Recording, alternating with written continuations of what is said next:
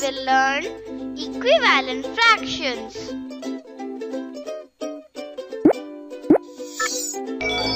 Equivalent means looking different but they are equal. Raghu has one apple. He cuts into two equal parts. Each part is one of two.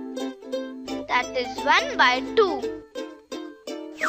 Now, both pieces together,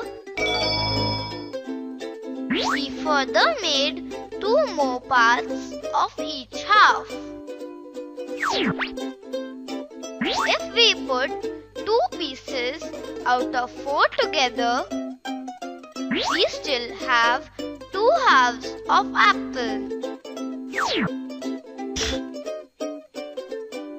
This way, both 1 by 2 and 2 by 4 represent half but look different. They are equivalent fractions. If the numerator and denominator increase or decrease in the same multiple, they are equivalent.